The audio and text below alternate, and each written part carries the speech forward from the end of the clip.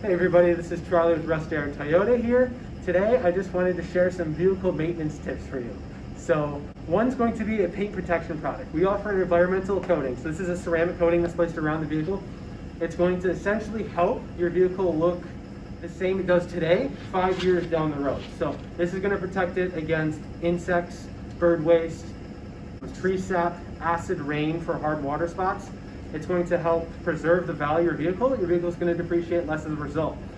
If you are a Platinum Rewards Card member, you're also going to receive free car washes for the life of your vehicle as long as we have availability here at the dealership. If you bring your car in for service, you're going to get a complimentary car wash after that service is done every time as well.